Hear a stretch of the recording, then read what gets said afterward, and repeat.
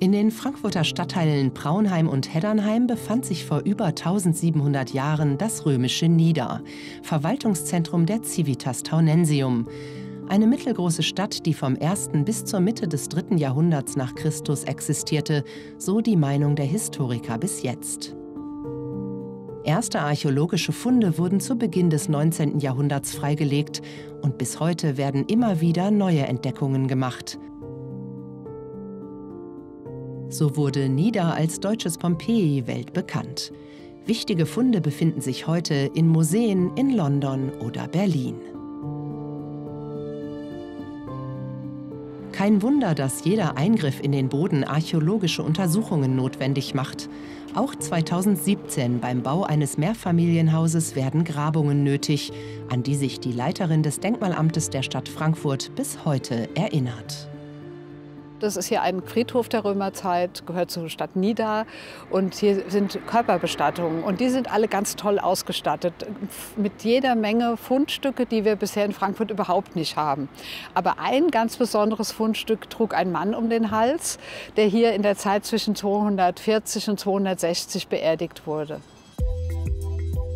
Das Grab des rund 45 Jahre alten Mannes ist eines von 127 Gräbern, von denen die große Mehrheit Körpergräber sind. Für diese frühe Zeit sehr ungewöhnlich ist auch ein Silberamulett, von dem noch die Rede sein wird. Alle Funde werden vom Denkmalamt der Stadt Frankfurt geborgen und an das Archäologische Museum zur weiteren Bearbeitung übergeben. Dort entdecken die Mitarbeiter, welche Besonderheiten diese frühen Körpergräber bergen. Die letzten Gräber gehören in eine Zeit, in der nach unserer bisherigen Forschungsmeinung eigentlich der Limes längst geräumt ist, die Grenze rechts des Rheins aufgegeben. Aber hier haben wir noch Bestattungen aus der Zeit ja, nach 260 bis vielleicht 270, 75 oder 80. Also die dürften eigentlich gar nicht mehr da sein. Und man sieht auch, dass die Beigabensitte sich nochmal gewandelt hat. Die Leute werden beigesetzt jetzt mit sehr individuellen Beigaben, was vorher nicht üblich war, mit sehr reichen Beigaben, was uns auch nochmal zeigt, dass die Menschen, die dort gelebt haben in dieser Zeit, tatsächlich wohlhabend waren, dass die gute Handelsbeziehungen noch hatten zum, zum Rheinland. Und das, ist das macht das Ganze neben dem einen besonderen Grab jetzt so ungewöhnlich für uns. Und noch etwas ist auffällig. Im Grab des Mannes finden sich Reste aus Metall. Dutzende Nägel, so als wäre der Mann in einem Sarg in die Erde gekommen. Bisher kannte man aus dieser Zeit kaum Bestattungen mit dem noch unverbrannten Körper, da der Übergang von der Brand- zur Körperbestattung auch mit einem Wechsel der Glaubensvorstellungen verbunden ist. Das Erstaunlichste aber ist eine Kapsel, die der Mann direkt am Hals getragen hat. In der Restaurierungswerkstatt des Archäologischen Museums Frankfurt wurde der Fund präpariert. Unter dem Mikroskop zeigt sich, dass in der Kapsel eine Inschriftenrolle steckt. Mit äußerster Vorsicht werden Kapsel und Amulett getrennt. Sowohl Kapsel als auch Schriftrolle bestehen aus Silber.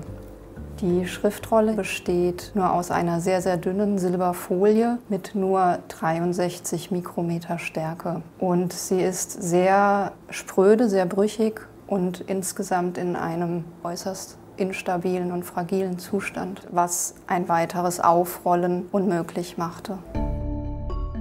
Im Leibniz-Zentrum für Archäologie in Mainz wird seit über 170 Jahren geforscht. Markus Scholz, Spezialist für lateinische Epigraphik von der Goethe-Universität Frankfurt, erhofft sich, die Inschrift entziffern zu können. Denn hier in Mainz sind zerstörungsfreie Untersuchungen möglich. Wir konnten die Silberrolle direkt in seine Packung scannen mit unserem Computertomograph. Das Gute daran natürlich ist, dass wir das Objekt gar nicht berühren mussten.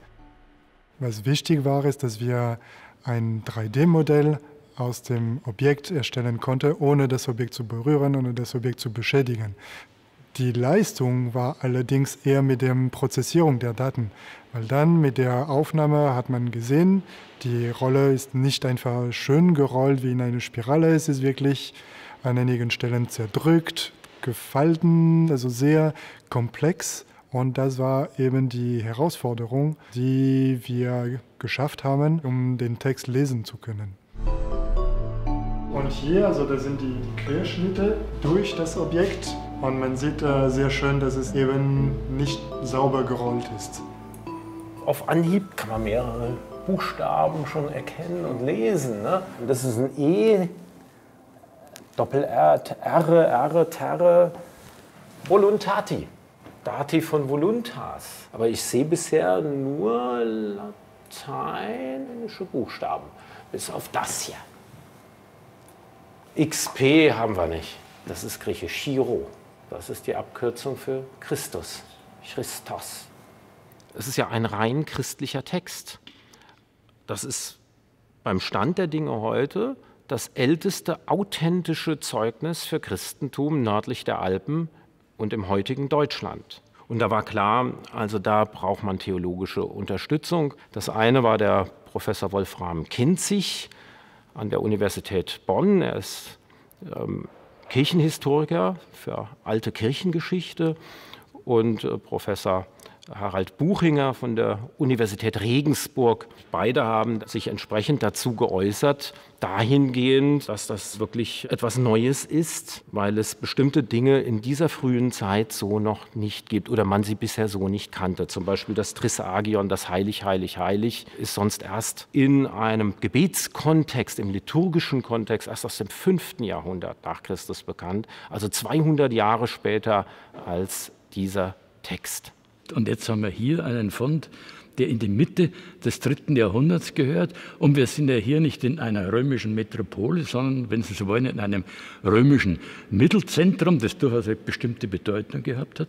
Und jetzt taucht so ein Fund auf. Das eine ist ja der früheste christliche Text nördlich der Alpen, original, nicht abgeschrieben, sondern eine Primärquelle in einem Kontext. Es ist sicher datierbar, archäologisch datierbar. Das ist eigentlich sensationell. Dieser Aspekt, den diese christliche Inschrift ja fast 100 Jahre vor Konstantin äh, in einem Gebiet, was zur Zeit von Konstantin dann gar nicht mehr römisch war, äh, dort der älteste Beleg ist direkt im Limes Hinterland an der Nordgrenze des Römischen Reiches. Die Frankfurter Silberinschrift wird mit Sicherheit für Diskussionen sorgen. Sie ist noch lange nicht zu Ende erforscht. Wir müssen da viel genauer noch hinschauen.